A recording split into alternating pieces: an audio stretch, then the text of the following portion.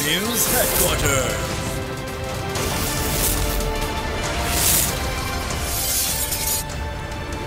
अस्सलाम वालेकुम बोल न्यूज़ हेडक्वार्टर्स में आपको खुश आमदेद कहेंगे। मैं हूँ आपके साथ सहरेश जुहेब। मैं हूँ मोहम्मद कामरान। मैं हूँ महावेश निसार। हेडलाइंस आपने मुलायजा की बुलेटिन में बात होगी। इलेक्शन कमीशन की खामोशी क्यों? हुकूमत को किसका खौफ? कहाँ कहाँ मुजाहरे बिजली के बिल कम हो गए। और किराए से ज़्यादा टैक्स। सबसे पहले बात बड़े खिताब की, ओवरसीज पाकिस्तानी किसी को पैसा भेजें तो फॉरेन फंडिंग कैसे हो गई? अगर ये फॉरेन फंडिंग है तो बैरून मुल्क बैरून मुल्क पाकिस्तानी जो अपनों को पैसा भेजते हैं, वो क्या हैं? इमरान खान ने इलेक्शन कमीशन के फैसले पर सवाल उठा दिए।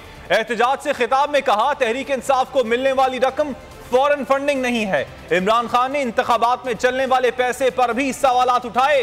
कहा सेनेट में सरेआम बाज़ार लगता है अराकीन को खरीदा जाता है। गिलानी का बेटा पैसे देते पकड़ा गया। सिंध हाउस में मंडी लगी। लाहौर में इलेक्शन के दौरान लोग पैसे देते हुए पकड़े गए, लेकिन इलेक्शन कमीशन को कोई फ़र्क नहीं पड़ा। अब ये जो इलेक्शन कमीशन कह रहा है जहाँ तक मुझे ये समझ आई है ये तो ये अगर आप इसको गौर से देखें तो ये तो ये कह रहा है कि बैरून मुल्क की पा, से पा, पैसा इकट्ठा वही गलत है। ये तो कह रहा है वो फॉरेन फंडिंग है। मुझे ये समझाएँ कि अगर ये फॉरेन फंडिंग है तो ये जो पाकिस्तान को इकतीस अरब डॉलर बैरून मुल्क पाकिस्तानी रेमिटेंस भेजते हैं वो वो क्या है फिर? अगर वो पैसा ना है तो पाकिस्तान अगले दिन बैंक हो जाए। मैं जब पॉलिटिक्स में आया तो चौदह साल तक हमारी पार्टी छोटी रही। वो क्यों छोटी रही? क्योंकि बड़ा मुश्किल था पैसा इकट्ठा करना। वो तो मैं तो पहले दिन से इन दोनों को माफियाज को चैलेंज कर रहा था। तो हमारे लिए पैसा इकट्ठा करना बड़ा मुश्किल था। पहली पार्टी जिसने पाकिस्तान में पोलिटिकल फंड रेजिंग की, वो थी तहरीक इंसाफ। इन दो पार्टी से पूछे कि इन्होंने क्यों नहीं फंड रेजिंग की? क्योंकि इन दो पार्टीज़ को कोई पैसा देगा ही नहीं। दुनिया में मैं गया, हमें बुलाए, हमने अपने सेल्स क्रिएट किए पीटीआई अमेरिका बनी पीटीआई बरतानिया बनी थोड़े थोड़े पैसे शुरू किए। इस तरह हमारी पार्टी ऊपर आनी शुरू सेनेट के इलेक्शन में पैसा चलता है। सेनेट के इलेक्शन के अंदर एम को खरीदा जाता है। हर जगह नहीं, कई जगह बहुत ज़्यादा पैसा देते हैं। हमने अपने 20 एम को पख्तूनख्वा से निकाला जो बिके सेनेट के इलेक्शन उनकी तस्वीरें भी चली कि वो पैसे पाँच पाँच करोड़ रुपया उनको दे रहे हैं, उनकी, बल्कि वीडियोस भी चले। ये फिर ये हमारी मंडी लगी लगी यहाँ। सिंध हाउस में। सारों को पता था रेट कितना है। 20 से 25 करोड़ रुपया। एम को खरीदा जा रहा है एम को। कोई इलेक्शन कमीशन को फ़र्क नहीं पड़ा। इलेक्शन कमीशन क्या तरीका है? इससे कैसे कौम गुलाम बनती है? क्योंकि ये लोग वोट किसी को डालते हैं इलेक्ट किसी को कर देते हैं। इलेक्शन कमीशन ने इस तरह का बना दिया है कि इसके ज़रिए आराम से कंट्रोल हो सकती है हुकूमतें। ढाई साल कोशिश करता रहा कि इलेक्ट्रॉनिक वोटिंग मशीन आए। इलेक्ट्रॉनिक वोटिंग मशीन से फ़ायदा ये होना था कि ये जो पीछ कंट्रोल करते हैं ना, खुफिया हाथ बैठ के रिज़ल्ट वो नहीं कर सकते उससे। क्योंकि जैसे ही इलेक्शन पोलिंग खत्म होती है बटन दबाते और रिज़ल्ट आ जाता सामने। अब पटन के मुताबिक इस एनजीओ जो इलेक्शन के तजिया करता है, जो इनके ऊपर सर्वेज करता है, उसके मुताबिक एक तरीके हैं इलेक्शन में पाकिस्तान में धांधली करने के। और एक में से 130 तरीके खत्म हो जाते हैं इलेक्ट्रॉनिक वोटिंग मशीन से। इसलिए हम कोशिश कर रहे थे, इन दोनों ने पूरा ज़ोर लगाया इस तक ये ना आए मशीन और उनके साथ कौन मिला हुआ था? जिसने अब इनके साथ मिलकर ये फैसला किया। इलेक्शन कमीशन ऑफ़ पाकिस्तान हुक्मरान अवाम से इतने खौफजदा क्यों हैं? एहतजाज की कॉल दी तो इस्लामाबाद को खला बना दिया गया। लगता है जैसे शहर इकतदार पर कोई बैरूनी हमला रूनी हमला होने वाला है। जमहूरी हक पर डाके पर इमरान खान हुक्मरानों पर बरस पड़े। कारकुनों से खिताब में कहा, पच्चीस मई को कभी नहीं भूलेंगे। डी चौक पर आवाम पर जुल्म किया गया। हमेशा हमारी कोशिश हुई है कि आइन और कानून के बीच में रह के एहतजाज भी करें, जो भी हम जलसे करें, जो भी करें, लेकिन मेरी हमेशा कोशिश रही कि आइन और कानून के बीच में रहे। मेरे मुल्क को कोई नुकसान ना हो। तो ये इतना खौफ क्यों है? ये जो इनको क्यों डर है इतना ज़्यादा? और ये आपको समझना बहुत ज़रूरी है। अगर आपने ये पता चलाना है कि ये एकदम इस्लामाबाद को बंद कर दिया कंटेनर्स लगा दिए, लोगों की ज़िंदगी अजाब कर दी, कि पता लगा इस्लामाबाद को। इन्होंने पच्चीस मेरे को जो जुल्म किया। मैं, वो मैं कभी नहीं भूलूँगा। जो जो शेलिंग की गई ये आप यहाँ हैं आज एफ़ नाइन पार्क में। आपको पता है कि ये डी चौक पे इन्होंने किस तरह का जुल्म किया? अपनी पुलिस अपने रेंजर्स रबर बुलेट चला रहे हैं शेलिंग कर रहे हैं जैसे पता नहीं कोई अ, अ, दुश्मन फौज आ गई है। और इन्होंने क्यों किया? वो खौफ फैलाना चाहते थे। इनका ख्याल था कि एक दफ़ा इनको दबाओगे मारोगे चुप करके बैठ जाएँगे भेड़ बकरियों की तरह। इलेक्शन कमीशन का फैसला मंजूर नहीं शहरी इमरान खान और तहरीक इंसाफ की हिमायत में एहतजाज करने बाहर निकल आए। इस्लामाबाद के एफ़ नाइन पार्क में बड़ा जलसा हुआ, सा हुआ, जिसमें कारकुनान ने भरपूर शिरकत की। हुकूमत और इलेक्शन कमीशन के खिलाफ नारे भी लगाए।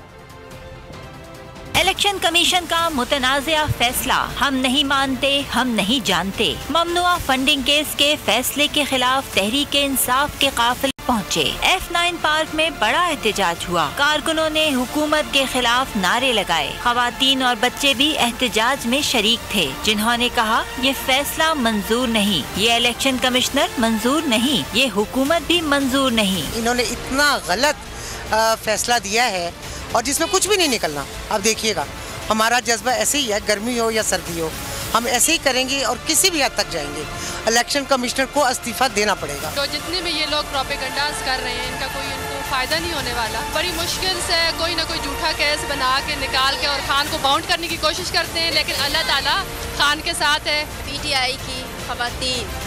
इस तहरीक का हरावल दस्ता है और हम ना झुकने वाले हैं ना डरने वाले हैं। आप हर ओछा डंडा इस्तेमाल कर रहे हैं आप करें। लेकिन अब आवाम जाग जाग चुकी है। चार्ली चपलन को भी इलेक्शन कमीशन के फैसले पर एतराज़ था। वो भी एहतजाज करने एफ़ नाइन पार्क जा पहुँचे। मोहम्मद अली जिन्ना के बाद अगर पाकिस्तान में कोई लीडर है तो वो है एहतजाज से पहले ही इमरान खान की मकबूलियत से खौफजदा हुकूमत ने रेड जोन को वॉर जोन बना दिया था। हर जगह नाके और बाड़े लगाई गई पुलिस की भारी नफरी तैनात की गई शहर इकतदार को कंटेनर्स का शहर बना दिया गया। जल्द सिलेक्शन कमीशन घर जाएगा। अब पाकिस्तान के मुस्तबिल के फैसले पाकिस्तानी कौम ही करेगी। पीटीआई रहनुमा असद उमर का असद उमर का इस्लामाबाद एहतजाजी जलसे से खिताब। परवेज खटक बोले, ये साजिश करके आए हैं जो आवाम को कबूल नहीं। फैसल जावेद ने कहा कि इलेक्शन कमीशन के फैसले में कोई फॉरेन फंडिंग साबित नहीं हुई। हमें यह सुल्तानी इलेक्शन कमीशन मंजूर नहीं। जिस तरीके से हमने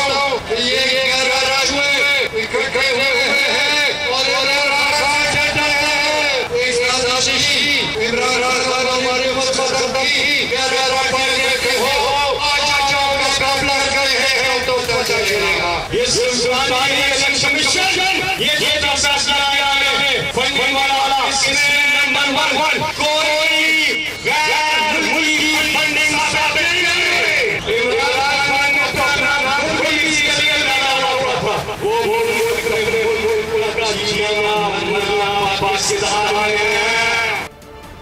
अक्टूबर, नवंबर में इनका धड़न तख्ता हो जाएगा। अवामी मुस्लिम लीग के सरबराह शेख रशीद की पेश गोई बोल न्यूज़ से खसूसी बातचीत में हुकूमत को खरी खरी सुनानी कहा। कहा राना सनाउल्ला ने इस्लामाबाद को ब्लॉक करके सियासी साख को राख बना दिया। अवाम इमरान खान के साथ है।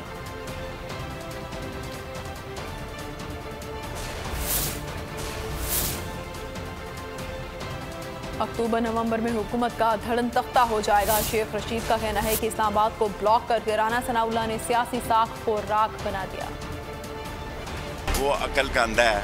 उसको अकल नहीं है, उसका जहनी तोज़न जो है, वो मेरे नज़दीक शक में है। अगर यहाँ चले जाते, ये पुरमन एहतजाज हो जाता, क्या हो जाता? सारा इस्लामाबाद को ब्लॉक करके उन्होंने अपनी सियासी साख को राख बनाया इन ताला, इमरान खान के साथ लोग हैं, अल्लाह कामयाबी देगा। ये नाकाम होंगे, नाशाद होंगे, सियासी तौर पर बर्बाद होंगे। हम फसाद नहीं चाहते। पच्चीस तारीख को भी इमरान खान ने सुबह के वक्त ही कहा कि आप डिस्पर्स हो जाए। क्योंकि ये लाशें चाहते हैं, हम इनको लाशें नहीं देना चाहते। अक्टूबर, नवंबर में इंशा सब्सक्राइब करें और बेल दबाएँ ताकि कोई खबर रह न जाए।